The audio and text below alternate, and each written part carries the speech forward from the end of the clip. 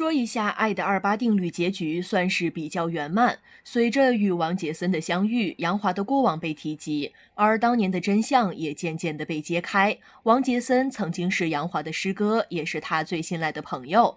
可是，在杨华事业正盛时，他威胁邱建祥开建老鼠仓，从中获利后，最后甩锅杨华。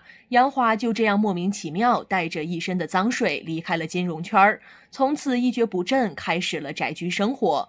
这对于杨华来说已经成为了一个阴影，所以秦师在见到王杰森后，尽管内心非常的不爽，可为了律所的将来，还是忍了下来。但是王杰森这个人不仅事业上很没品，生活作风也是糜烂。何东娜的案子由程宇慧代理，虽然这个案子本身无利可图，但是何东娜的老公却是个投资界的人才，所以程宇慧之所以帮助何东娜，其实看中的是她的老公。而何东娜也深知这一点，一直拿自己的老公吊着程宇慧。但是实际上，何东娜的老公正在打算和她离婚。当程宇慧得到消息后，深知自己被利用了，于是开启了第二计划，那就是是由秦师接近王杰森，让他给胡总写投资程宇慧的计划。但是王杰森这个人色胆包天，早就看上了秦师的美貌。陶俊辉得知后，便前去寻找秦师，并且打。打电话告诉了杨华，在预告中，杨华看似去救前女友了，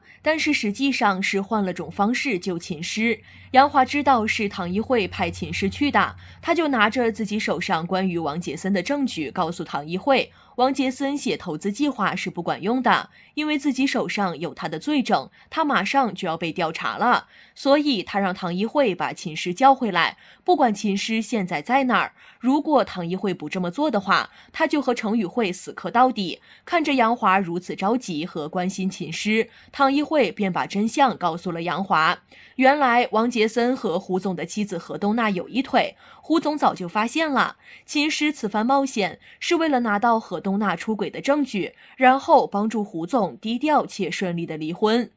得知秦师安然无恙后，杨华才放下心来。但看着想要重新追求秦师的陶俊辉，杨华决定和秦师离婚。他知道秦师一直害怕结婚，所以用一份婚前协议来逃避婚姻、逃避现实。此番他就是想放秦师自由，让他看清自己的内心。和秦师离婚之后，杨华遇到了生命中的贵人，也就是胡总。之前为了帮助秦师，帮助程宇慧，杨华曾为胡总写了一份投资程宇慧的计划，受到了胡总的赏识。如今王杰森被开除，胡总便想到了杨华，而杨华也终于可以直面自己的过去，便去胡总的公司任职了，并且还成为了胡总投资部的执行总裁，事业上可以说是取得了巨大的成功。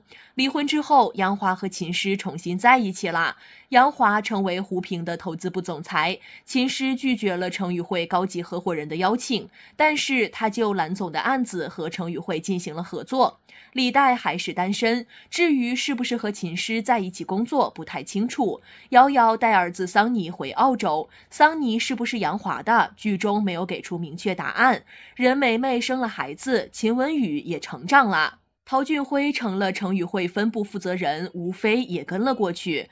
秦师一直以来的目的就是改变单身女律师的现状，而在秦师离开后，程宇慧对用人规则进行了调整，甚至还增添了不少福利。这对卞静和秦师当初做的努力来说，就是一个讽刺。原来只要秦师离职就能实现，他何必费尽心思去竞选合伙人，还编造婚姻的谎言？直到电脑上协议结婚的。内容被吴飞看见，他告诉了唐一慧，秦师因此被一撸到底，成为助理律师。如果秦师辞职，太便宜他了。